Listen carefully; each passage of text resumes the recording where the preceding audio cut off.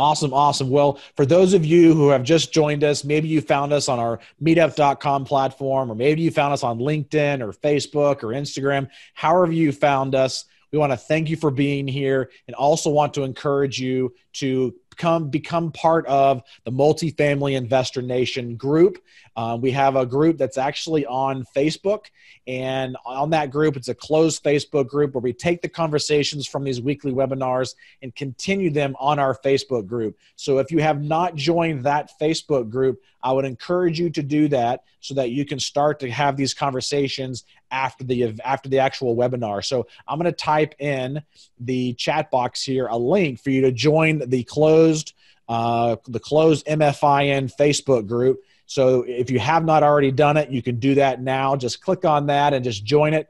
It is there's a few questions it'll ask you ahead of times ahead of the time so you can be a part of that and uh, looking forward to having that conversation continued further after this webinar because we might not have all the, the time in the world to answer all of your questions um, but i'm sure towards the end uh, Yonah will give you plenty of ways to reach out and contact him if for some reason we don't get a- um, the answers to your questions on this particular webinar but do uh, continue to have that conversation on the closed Facebook group. So, Yonah, I want to turn it over to you uh, and have you go ahead and get us started on this magical world of cost segregation. We hear so much about it, and a lot of times we hear these large words like cost segregation, and we get we get concerned or worried or wondering, you know, what what is this all about? And and so I want you to go ahead and take it away and and uh, and talk to us a little bit about what are some of these advantages of, of cost segregation and and why we should do it and and all of these different types of things as well. So take it away Absolutely. for us, Jonah.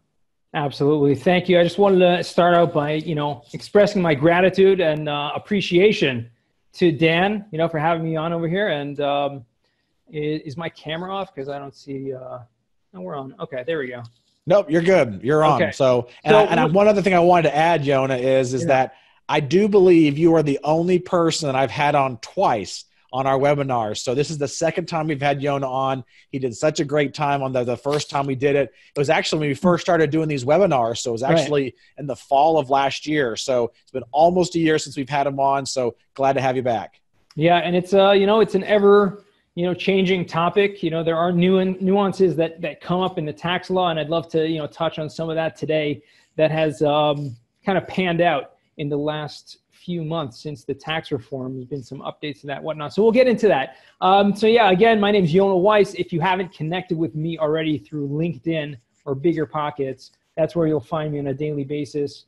Um, hopefully, providing valuable content like this and a lot of other stuff related to real estate and you know just in general. So thanks for having me today. We're just gonna you know these are some of the topics we're gonna cover and if there are any questions, and I tend to talk a little bit fast, so if you have a question, please write it in the quick Q&A box or the chat box, whatever it is, and we can get to that question either throughout or at the end there will be open Q&A. So we're just going to talk about some of the tax benefits of real estate investing. The basic one is called depreciation. We're going to break that down, what that means. Um, cost segregation, which is sometimes shortened to cost seg, we're going to break it down. What does it mean? What's this weird name the IRS gave? to this amazing tax benefit. Bonus depreciation is a new um, law that was recently passed, or um, I should say, updated in the recent tax reform. And so we're going to get into that as well. Um, you know, who should be doing this? When's the best time? And what's this real estate professional status that we keep hearing about that gets the best benefits uh, when it comes to depreciation and cost segregation?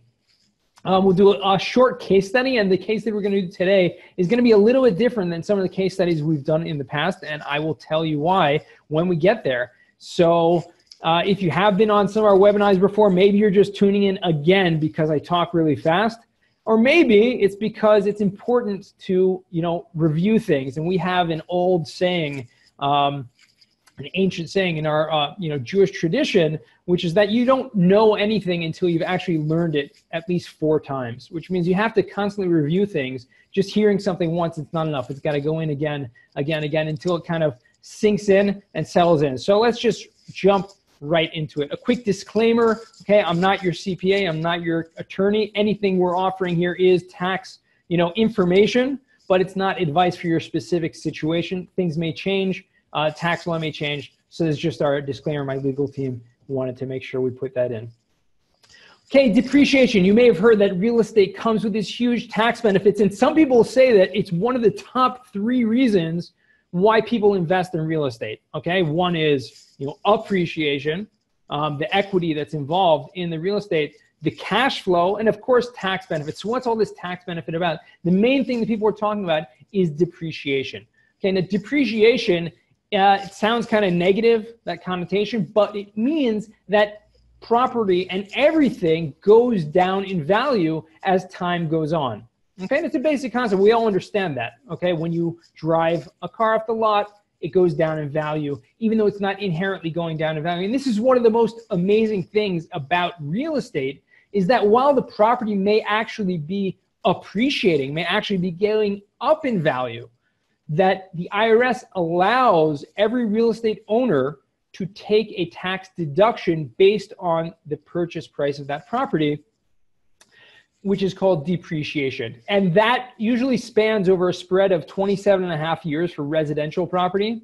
So that includes single family, multifamily, even the large, huge, massive multifamily, a 600 unit building is still, even though it's commercial in nature, it's still considered residential for this tax purpose for this tax deduction, whereas all other commercial properties depreciate on a 39 year schedule. That means that the purchase price of that property, the amount that was put into it, is divided up over 39 years or 27 and a half years, and every year a small amount is taken off as a deduction. So that's what it means. You may be making money from your property, that cash flow, that net operating income, you may have heard this NOI. However, right off the bat, before you have to cut a check to the IRS, we take off a slice and lower that income tax liability because of depreciation. It's just a straight write off. Okay, that's what it is. However, cost segregation is going to be an even better way to reallocate property into faster depreciation lives on a schedule of five years excuse me, seven years or 15 years. And we're going to get into how that works, what are the mechanics of it. But just so you know, it's a way to actually accelerate certain aspects of that depreciation to get bigger tax benefits earlier on. So far, so good. So let's just take a quick example. Let's say you buy a property for a million dollars, okay? And I usually use this threshold not arbitrarily, but because, as you will see, um, you know, the tax benefits that come with real estate are going to be proportional to the amount that's spent. And cost segregation really makes sense, you know, above that threshold of a million dollars, So it can definitely make sense less than that. I'm using this example and you'll see why. Okay, we're always going to take off a certain amount for land. Land does not depreciate. Okay, the building is what depreciates. However, we'll see land improvements is going to depreciate. So we're going to differentiate that in a minute. So stay, hold on that. Million dollar purchase price, $150,000 land does not depreciate. What's called your basis, and this is the term that's used in tax terminology, um, is called depreciable basis of $850,000. That means if you did straight line depreciation, so your regular depreciation deduction would mean before getting a cost segregation, this is the tax deduction. For a commercial property, 21 794 or for a residential, and again, multifamilies included here, 30,909. That means close to $31,000 because most of us here are in residential, in single family, multifamily. Um, so let's just speak to that for a minute. That means if you're making, let's say you're making $50,000 a year from this million dollar property, net operating income. It's, it's possible, it's pretty probable.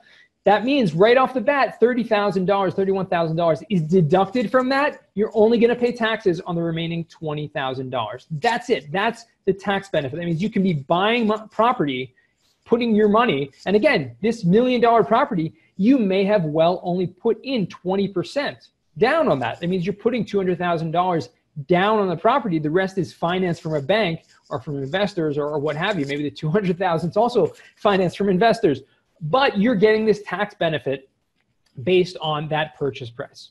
Okay, so far so good. Now we're going to see that accelerating certain amounts of depreciation is actually going to increase this amount in the first year, first five years, which is going to get you huge tax deductions earlier on to make your tax liability literally zero. Okay, zero means you'll be making fifty thousand dollars. It's your money. You don't have to pay it. until you have a liability. The IRS says, hey, guess what? You have more deductions than actual tax. Guess what? No tax this year, no income tax. And that's really how most people in real estate are making so much money because they're using the money they're making, reinvesting it, rinse and repeat. Okay, so here are the fundamentals. A conservation study, which is a study means that a, company like ours, Madison Specs, will actually come send an engineer to the property, and it needs requires an engineer to come and identify everything in the property and reallocate things to a faster life. So we said the property depreciates over 39 years or 27 years, but are things inside of it, like personal property, which we're going to give examples like furniture, fixtures, all that stuff actually depreciates on a five year schedule. An engineer has to come into the property, identify those items, give a value to it, break out those components, so to speak, and accelerate those tax deductions. Okay, there are, you know, I'm not going to go through the history because this was actually, if someone wants this afterwards, you can hit me up. You can also check out the cost segregation audit techniques guide from the IRS, which lists a number of these um, case studies, which um, not case studies, really landmark cases, court cases over the years that cost segregation, which you know previously was called component depreciation, developed over the years into what it is today. So here's an example of some of the things we're going to do.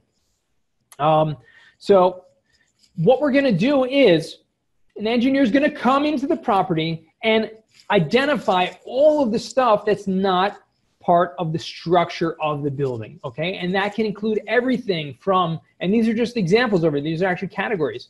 This is from a multifamily property, but every property is different. And you can see the you know multiplicity of things that are in a property that actually have value in it. Once the engineer identifies what those things are, how much of them there is, what the amount is, what the square footage is, etc., can now use uh, industry standard costs um, and complete those calculations to see how much of that is actually worth and take that value as a tax deduction. Okay, so building mounting signage, cable TV rough, and you see stuff like decorative lighting, kitchen appliances, carpeting, equipment, furniture, even stuff like window treatments, vinyl floor carpeting, all that stuff you wouldn't even thought of that that's depreciated a faster life. You think, well, it's part of the building and fixtures. No, you can identify that, take that value, and accelerate that depreciation. Now, before we get to the second category, I just want to point something out. People often think, well, why would I do this? Believe it or not, this is actually, according to the IRS, the proper way of depreciating your property. Meaning, doing it, throwing the entire building and everything in it into one bucket is not actually the proper way of doing it. Now, the IRS isn't going to challenge anyone um, because you're taking all this, uh, you know, cable TV and all this, um, you know, five-year property, and you're going to accelerate that. What are you doing? Are you doing something illegal over here? No, you're actually doing it exactly according to the law that the IRS requires you to do it. But putting it all into a 27 year bucket and depreciating everything over that longest period of time, and why don't they say, hey, why are you doing that? You're doing it wrong. You know why? Because we are creating more revenue for the Treasury of the United States of America. And as long as we're creating more revenue by the tax deductions, guess what? They're not going to go ahead and tell you, hey, you're doing this wrong. Okay, that's one theory. Obviously, there are many things uh, that go into that. Um, this second category over here, which is something that is completely overlooked in many cases, which is 15 year land improvements. Because again, we mentioned land does not depreciate, okay, but land improvements do. Now, someone asked over here, how do you know how much the allocate, how much to allocate to land? There is actually no concrete, another weird thing, IRS, there is no concrete way or system that the IRS says you have to come up with this to allocate land. As long as it's done, um, it has some backing to it. So, you know, some people do it according to the property tax assessments, which in some states like California can be ridiculously high, like 50, 60, 70%. Crazy, um, which is not normal. It doesn't really make sense that a building and the land that it's on, the land is worth so much more than the building. But that's how it is. Some other people like to use, you know, um, look at other properties in the area and do comp comps, right? There are many different ways. We use 15% uh, just as a standard average number. But again, this is something that you know everyone needs to come up with, or their accountants really come up with on their own. So that's a good question. But the land improvements, which means everything that's on the land, that can include include concrete, right? The paving, the sidewalk, any retaining walls. You have fencing, parking barriers. Okay, if you have like you know those poles that the handicap sign, that's 15 that actually the cost of that the value of that depreciates over 15 years a swimming pool playground equipment um, everything landscaping okay and that's a huge one especially you spend so much money on landscaping beautifying the property all of that value and a large properties can sometimes be a lot a lot of value can be, be depreciated excuse me over 15 years um, so again, what is the cost segregation benefits over here? We're not creating you know, deductions out of thin air. What we're doing is we take the entire property, we take the entire depreciation, and instead of spreading it out equally over 39 years, we're accelerating a portion of it. And usually it's anywhere between, I'd say 10 and 40% of that value can be accelerated to these faster lives. I'd say generally speaking, multifamily properties are usually between 20 and 30%, sometimes even more. And um, you know, even you know, 35, 40%, depending on the type of property. What we're doing is we're creating these deductions at an accelerated rate, which is really the time value of money. Time value of money means I am using money today instead of waiting to get it later on, which means that a dollar today is worth more than a dollar will be five years from now. So the other point of this is it's your money. Okay. We have to realize the money that we're getting from our properties is our money.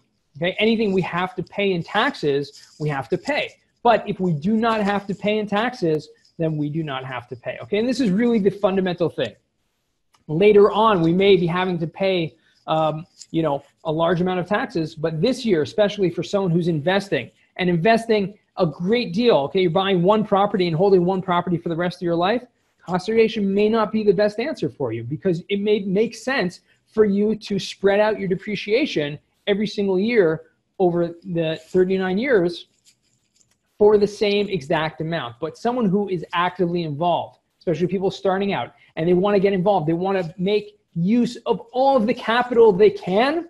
Guess what? This year's tax liability is what matters most to me, and next year's and the next five years from now. Okay, and five years from now, I may have 10 properties. Okay, but if I didn't do cost segregation, I may only be able to get to two or three. And this is something very fundamental that people you know don't look at the big picture. We're going to talk a little bit about what happens when you sell a property, depreciation recapture tax. But let's get right into bonus depreciation because what we want to know is what is this bonus depreciation? Okay, by show of hands, who knows what bonus depreciation is? You can just type in the chat box over there, yes or no. And let's see if anyone is still paying attention after uh, 20 minutes. Okay, we got one hand raised. What does the hand raise mean, Dan? Okay, we got no, no, no, no, no, no, no, no, no. Okay, got a couple of yeses. So some people are still awake. Yeah, so bonus depreciation is like this, and this is out of order. Okay, bonus depreciation.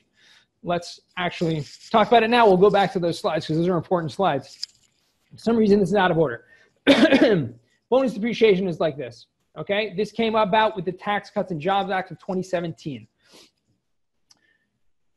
used to be, and it's a new law, but it's actually changed from an old law. It used to be that only newly developed property, okay, or newly renovated property was entitled to a tax deduction, which entitled you to take a write off of 50%, 50% of the amount spent in that tax year, that first tax year that it was developed, as a write off um, if you elected that in the first year. Okay, now with the bonus depreciation in the recent tax reform,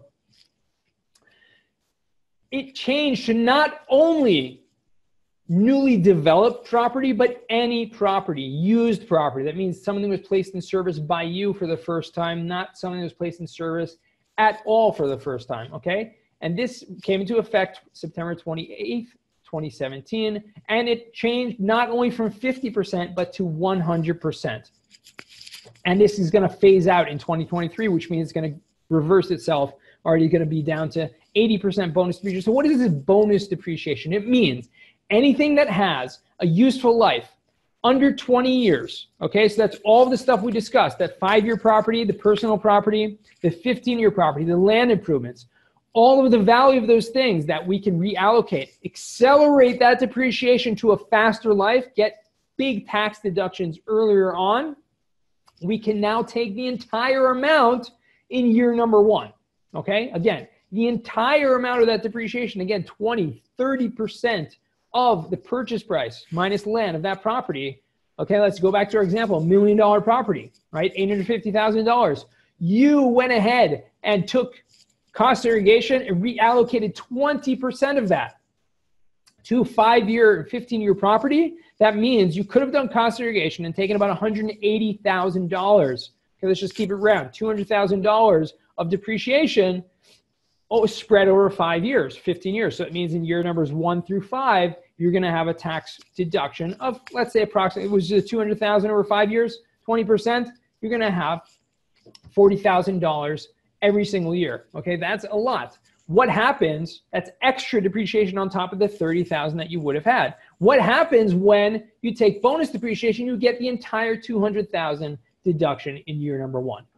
Okay, so this is huge. This is a game changer for a lot of people, especially if you have large tax liabilities, because what we're going to talk about next is, and again, this is just a schedule taken from the, um, you know, the tax code. This is, you know, cut and paste from the actual tax code, tax reform.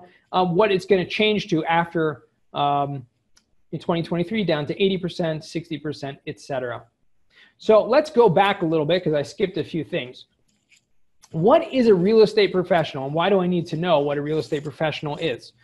Some of you may have heard of this. A real estate professional, that means someone who is involved in real estate as their main business activities, okay? And this is the rules taken directly from the tax code. You can use cost segregation, you can use depreciation deductions to offset all of your income. Okay, let me just take a step back for a second. Depreciation is considered passive income. Passive income, passive income means that it's coming from real estate.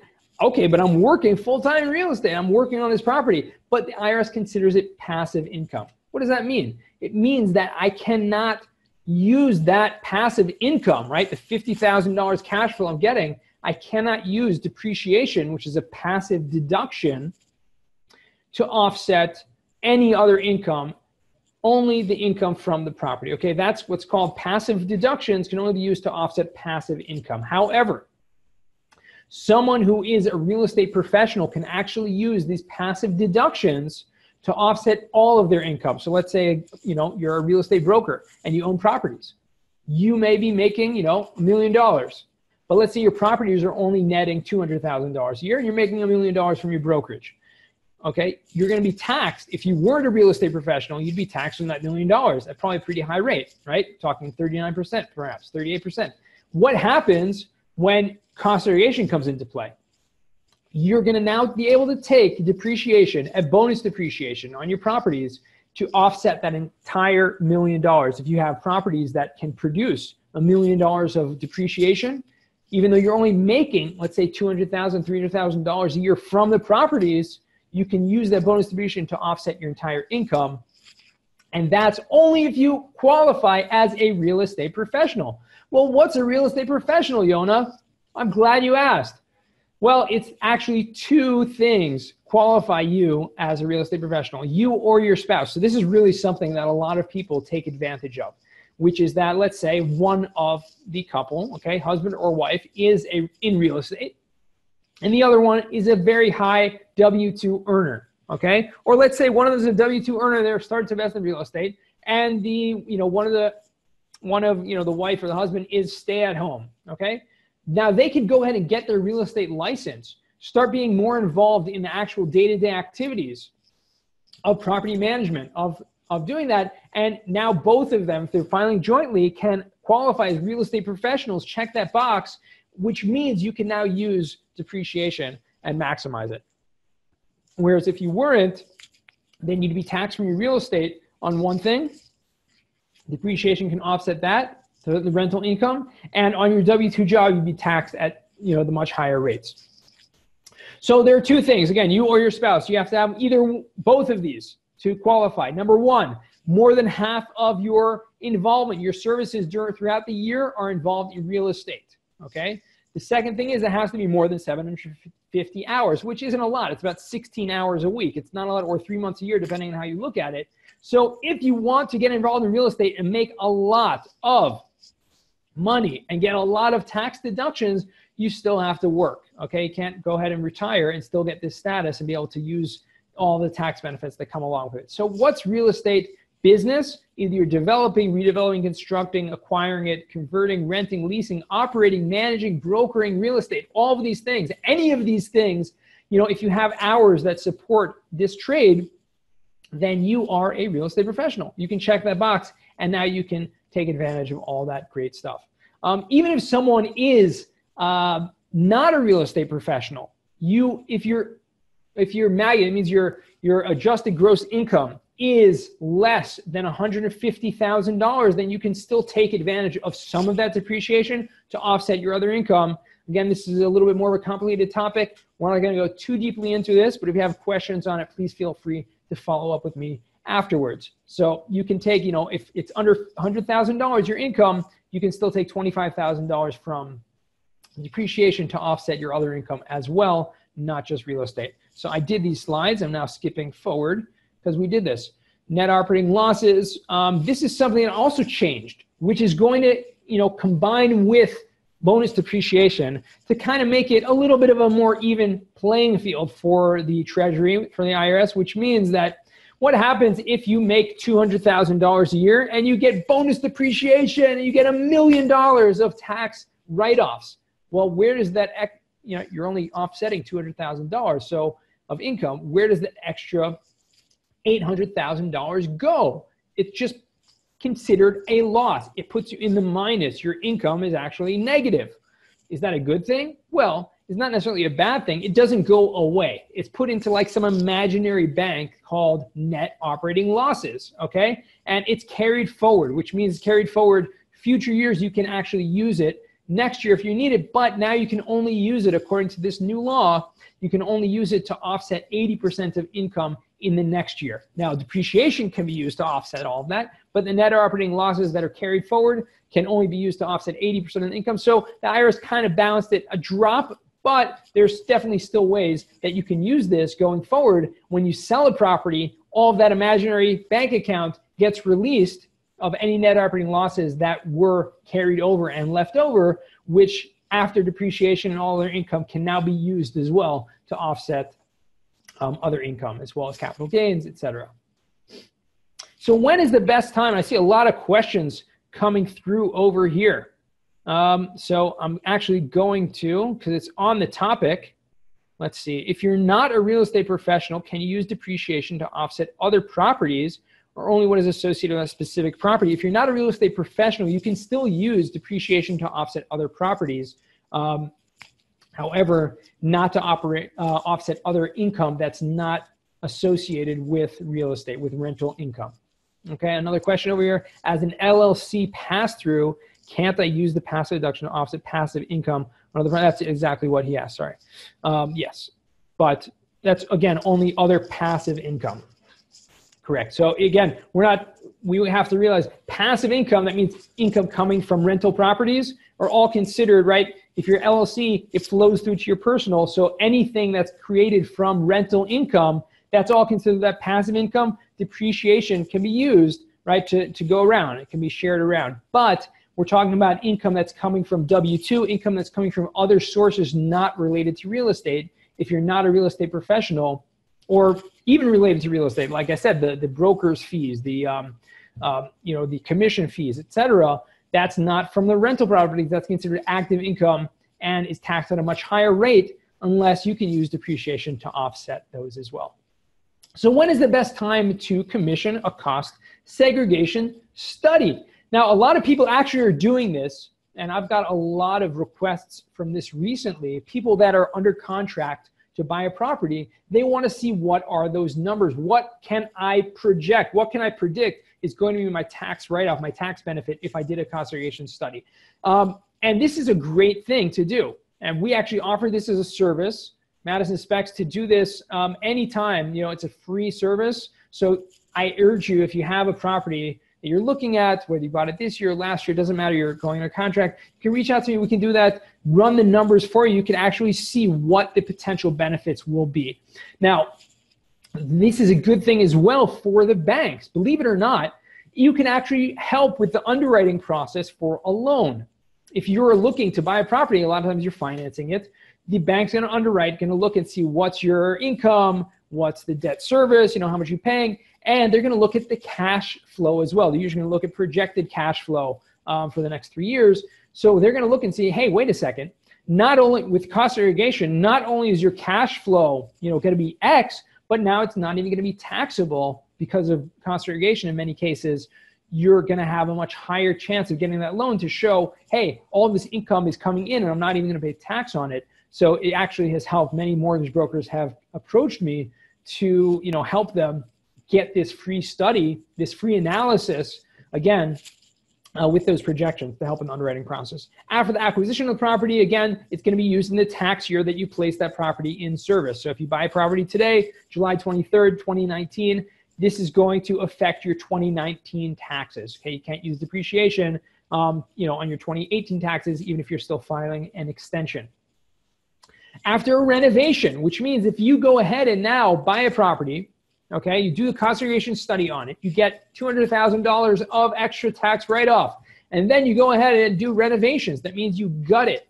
Okay, or not gut it. Let's say you update some units, you, you put in a new parking lot, you put in a swimming pool, who knows what you do. You can actually now go and take the amount that was spent. First of all, you can write off the amount that was disposed of. Okay, that's called a disposition. You can write that off. And now you can do a new cost segregation study. It's an updated study, it's not an entire full study which our usual full studies are like 80, 90, 100 pages long, a very detailed, you know, work. What it ends up being is getting a double dip. Now you're not only getting that million dollars you spent on this property, but now you went ahead and put in another half a million dollars to upgrade it. That half a million dollars is now added to the basis. And unless you do a cost segregation study, all of that amount is going to be spread over the 27 or 39 years as well. Doing a cost segregation study on the updated amount can actually bring you those tax deductions and bonus depreciation can get that all back. So you can spend a half a million dollars um, in this year it actually get you know probably half of it or a large amount of that back as a tax deduction in the first year of doing that. A newly constructed property is great to do it. And a look back, we call this a look back study. There are different names for it, right? A retroactive study means if you didn't know about this, and let's say you bought a property in 2015, okay, four years ago, you didn't know about this, you're doing straight line depreciation until now, you can now retroactively get all of that accelerated depreciation that was missed, and you can now get that in this year.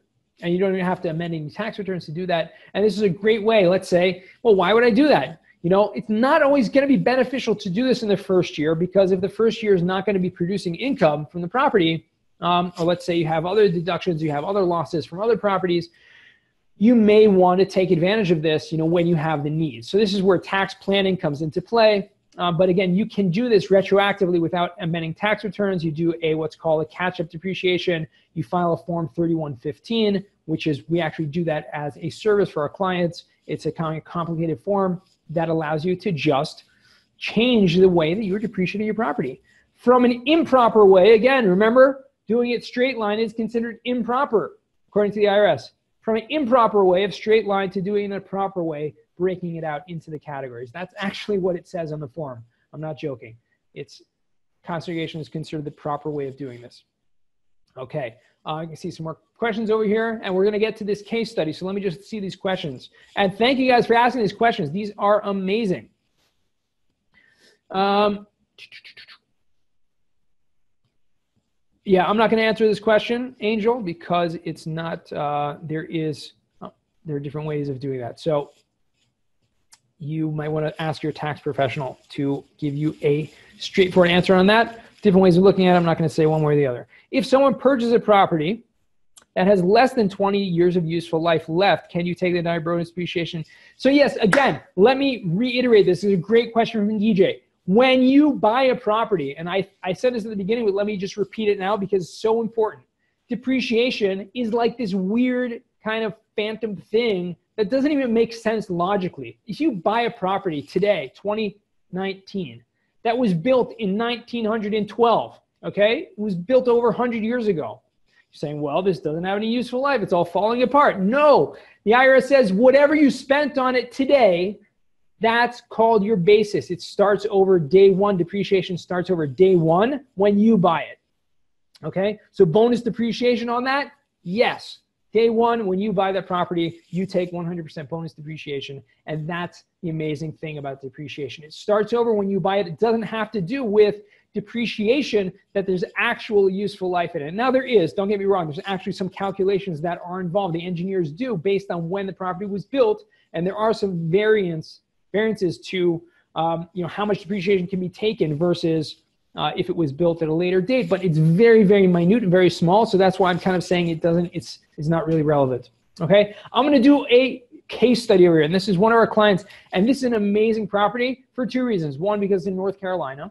Okay.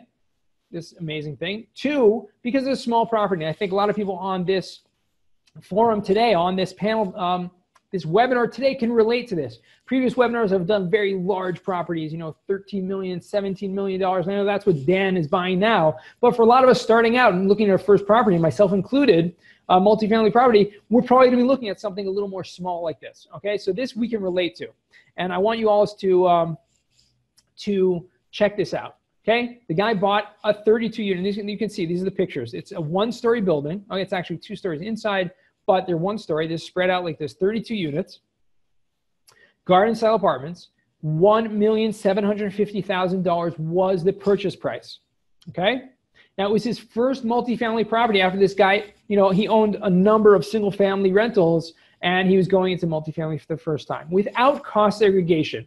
Okay. On this property, after allocating a portion to land, he would have gotten 54,000 and change of depreciation. That's great. Okay. He was making, you know, uh, the NOI, he was you know, fixing it up and he was getting great income from this property. So you know, that 50K was going to help him out right off the bat to knock off a good portion of the income coming from the property. However, he had some other things as well. He had, you know, some capital gains from a failed 1031 exchange. If anyone knows what that is, that's, you know, something that could have offset capital gains tax from the sale of a property in a previous year, and he didn't know what to do. So this is what we did. Check this out. Purchase price, million seven fifty. It's another nice picture. Um, we classified like this. Again 262500 for land. Land is not depreciated but look at all this beautiful land improvement. The landscaping. Okay not so beautiful. The parking lot over here. Okay the pavement. All of this has value to it and depreciates over 15 years. That's that 15 year property over here. We allocate about 8% to that the 15 year property and 20% to five year property Okay, that's a whopping 28%. That's over $400,000 of extra tax deductions that he could take over those first five and 15 years. And he elected for 100% bonus depreciation, which means the guy had, you know, $400,000 in change of tax deductions this year, which helped offset the capital gains tax that he had from the previous failed, um, you know, exchange from last year. And he didn't know what to do about it. Guess what? The guy called me up on the phone with tears in his eyes. I'm not joking. The guy was literally tears. I don't know if it was tears of joy or it was just he was he was so overwhelmed that he had been thinking he's going to now have to cut a check to the IRS for a few hundred thousand dollars. Now he can literally knock it off just like that with one cost segregation study. Um, incredible.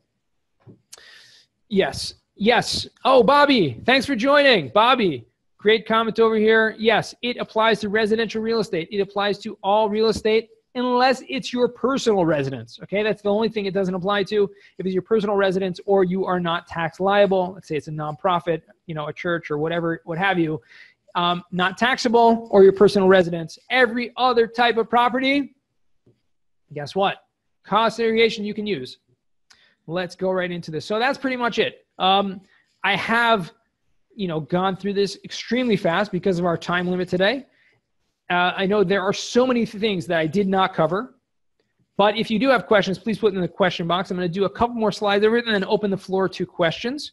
And um, you know, feel free again. Those of you on here, I really appreciate, and this is really where appreciation meets depreciation. So I know it's a corny joke, but I love to say because I do appreciate Dan and you guys for coming on today. So um, please reach out to me. LinkedIn, it's the best place to find me. Bigger Pockets, shoot me a message that you enjoyed the webinar, and I would love to meet you there. Who should you look for? What should you look for in a cost segregation study? So this is actually taken from, and I, I put it over here, the tax, um, the IRS cost segregation audit techniques guide.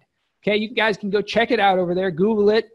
It's fun to read if you want to fall asleep. So if you guys have insomnia, great reading. Okay, it's like textbook.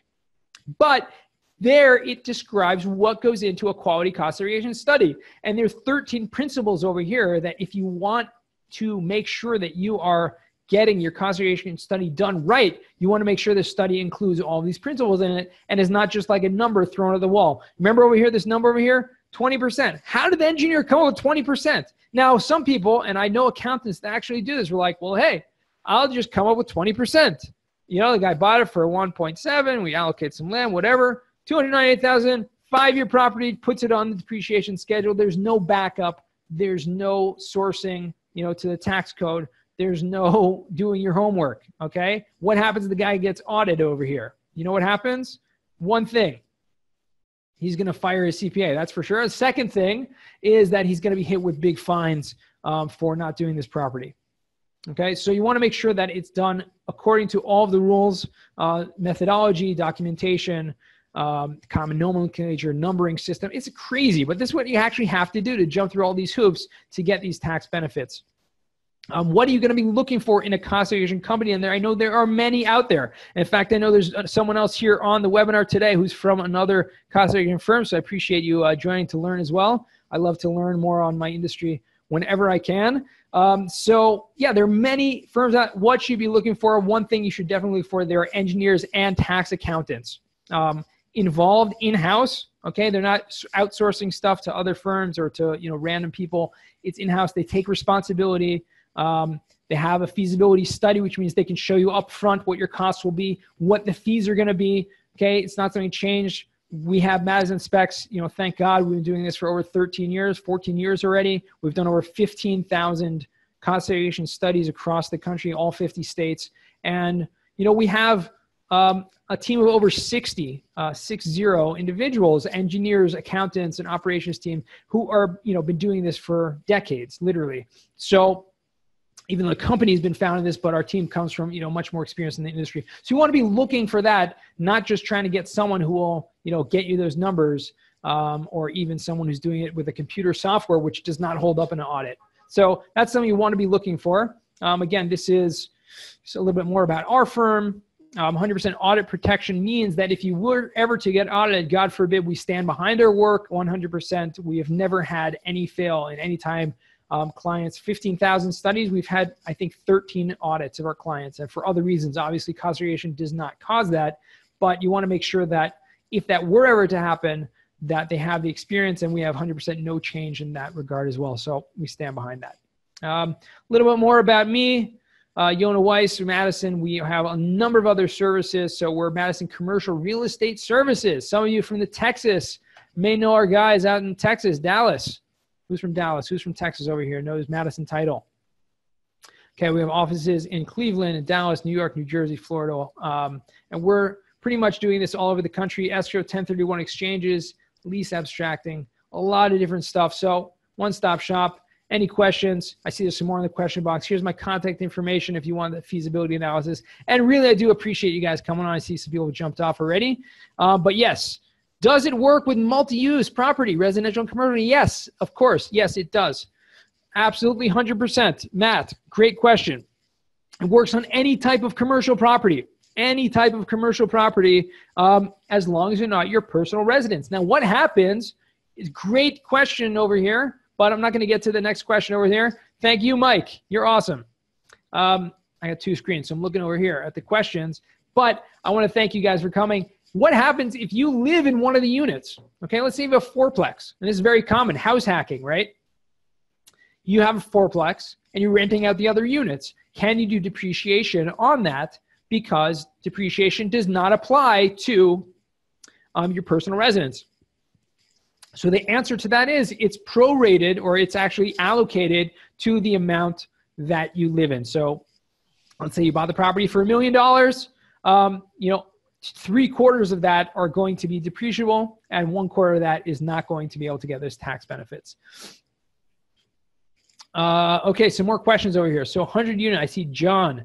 And please keep the questions going, guys. When does it not make sense? Let's do one by one. Let me see if we if we everyone's doing it in the chat box. It's actually a Q&A box, but uh, that's okay. We'll just do the chat box. Can the cost, Marcia, Marcia, Marcia, Marcia, I think Marcia, yeah. Marcia asked, can the cost of a cost segregation study be written off as an expense? Yes, it can be written off as an expense on your business. Great question. Um, does it work? So on 100%, John asked over here on 100% unit property, is there a way to estimate what the cost of the study would be so we can budget our offering to purchase? Yes, of course there is. John, awesome question. I didn't really talk about cost here because every firm is going to be different. Our costs uh, for a cost segregation study are pretty competitive out there. I'm not going to tell you what they are here, but it's usually between and it's totally based now this is very very very important. Another thing i didn't mention over here but very important. It should be based on the scope of work. It should not be contingent to your tax savings. If a firm is charging you saying hey you're going to get a million dollars tax savings we're just going to take 10 uh, you know 10% of that. Not big deal okay? No that's wrong. It's actually not really allowed by the IRS. So make sure the firm is not charging on a contingency basis and rather on a consultancy basis um, for the services provided. So, you know, that being said, our, you know, fees de- you know, depend on the size of the property, the scope of work, but usually between four and seven thousand dollars. Okay, is not a big. That's a huge properties. You know, much much larger properties. We've done many like skyscrapers and you know office buildings and office parks and you know a million dollar million uh, square foot Amazon you know center distribution center. And yeah, the fees are going to be a little bit more, but not tremendous amount more. So yeah, so John, definitely check me out. Hit me up. I can get you that, um, you know, estimate and the feasibility to see if it's even worth doing. Will the slides be downloadable? I will be providing this, or, or Dan will be. I don't know who will be, but um, yeah, we can definitely get it done. Greg asked over here, when does it not make sense? Oh, one second. When does it make sense not to do? I guess the same question. When does it not make sense? When does it make sense not to do cost segregation? Is doesn't make sense a few things. Number one, if you don't need the tax deductions, it does not make sense to do it. Okay, you're like, hey, I'm going to spend all this money. I'm going to spend, you know, five thousand dollars, and I'm going to get a hundred thousand dollars or ten thousand, you know, hundred thousand dollars of tax write-offs. Well, guess what? If you only have only income of ten thousand dollars, getting that done is not really going to help you so much. Okay, so that's the first thing. Uh, when it doesn't make sense, another time it wouldn't make sense is if you're planning on selling it within a year. Not only doesn't it make sense, it's you actually can't do a cost segregation if your intent was to, to sell it because you don't get depreciation on that. It, but if you, even if you're selling it within two years or three years, it may not make sense because something we actually didn't touch on, I meant to, which is depreciation recapture tax, which means you have to pay a tax on the amount of depreciation you took over the course of ownership. So that's going to come into factor on your tax planning. You know, one of my benefits going to be the time value of money having this cash flow now versus what I'm going to have to pay in tax when I sell the building three, five, ten years from now, that's going to be something that's going to come into play. Um, otherwise, when doesn't it make sense? Again, on a property under a million dollars, it may not make sense. Under five hundred thousand dollars, very few times is going to make sense. Uh, but there are cases when it will, and again, very much based on your personal uh, situation. Uh, any more questions over here? If you have, DJ asked a great question. DJ, hopping in with all the good questions today. If you have a residential and commercial property. Resident on top, it's called mixed use property. To use 27 and a half or 39 years or a mix. That's probably number one question. That's an awesome question. Is actually a rule the IRS says it's called the 80 20 rule. And I don't really understand why it's so, but this is what they say. Okay, and it's a really good question. If 80% of the income, okay, of the income doesn't have to do with the actual space. So even if it's like, you know, 30,000 square feet of residential and 10,000 feet of, of commercial on, on the ground floor has to do with the income. More than 80% of the income is coming from the commercial, then it's going to commercial um, schedule, 39 years. If less than that, then it's going to residential. Okay? So if you have investors in a syndication, would it be feasible to do a study and calculate that to an investor return? Another awesome question from John. Yes, it is. And not only that, I think Dan is back on the call over here. Dan can probably speak to the fact that, you know, is this beneficial to the passive investors on a syndication? Yes, absolutely. So it depends on the operator, of course, because you know they have to make sure when you're you know talking to the various operators when they do these studies that they actually pass those benefits through to their investors because there is an ability for them to not pass it through and they take all that benefit. So you just right. have to make sure when you're vetting your sponsors that you making you're making sure that they're actually passing through that cost segregation and those depreciative benefits to the investors. Correct, and that's going to be in the operating uh, you know agreement you know it should be spelled out and there obviously the legalese there has to be spelled out because it will make a difference. If it's not spelled out it will probably automatically go um, to everyone. If it is spelled out then you want to make sure that your lawyer you know attorney is, is reviewing that. But yes it can you know if everyone is in that pool together according to the percentage of ownership. You know, if you're owning shares, you're owning a percentage in the LLC, it's going to pass through to everyone equally. And that's going to show up on the K1 tax returns that everyone's going to get, showing their amount um, earned and amount lost. So great question.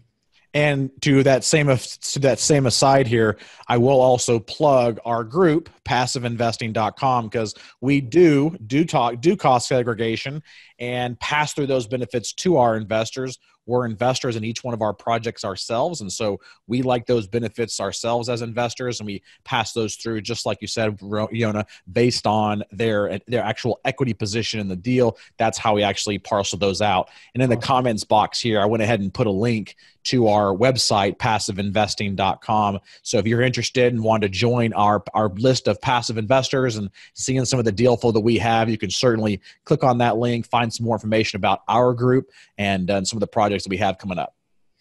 Awesome. Are there any more questions over here? Yes. Healthcare facilities skilled nursing homes assisted living memory care facilities independent living facilities consider residential properties or commercial?